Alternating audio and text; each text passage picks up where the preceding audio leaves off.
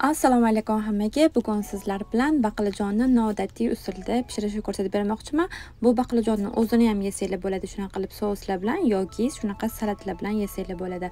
Man sizlarga oson usulda ko'rsataman. Sizlar ham bu salatni ya'ni bu baqlajonni pishirib ko'rishlarini maslahat beraman. Qani bo'lmasam boshlaymiz.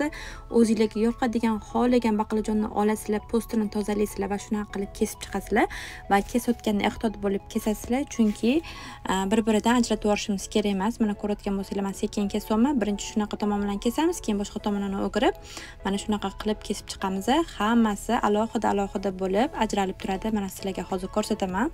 Balkim buni sizlar qilib ko'rgandirsizlar qilib ko'rganlar biladi. Judayam mazali suvda lekin buni har xil usullari bor. Sizlarga bitta usulini ko'rsatib beraman. Va nomakop suv qilib olasizlar va baqlajonlarni solib qo'yamiz achchiqlari ya'ni chiqib turadi va yumshab turadi.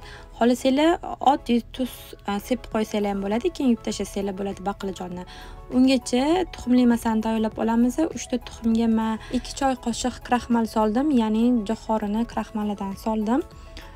Keyin yaxshilab aralashtiraveramiz baqlajonlarni yaxshilab yuvib tashlab quritib olamiz. Birinchi tuxumli masamizga botiramiz keyin e, ushog'imizga botiramiz xohlagan ushog'inglardan foydalansanglar bo'ladi. Xohlasanglar uy sharoitida shunaqa ushoq tayyorlab olinglar yoki tayyorini olasizlarda. Ozgina savolni bittasiga yetadigan qilib keyin ikkinchisiga yana ozgina solib hammasini yaxshilab botirasizlar.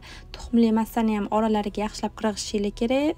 E, suxariylarni ham ya'ni maydalangan non uvog'ini ham shunaqa oralariga qirg'izasizlar.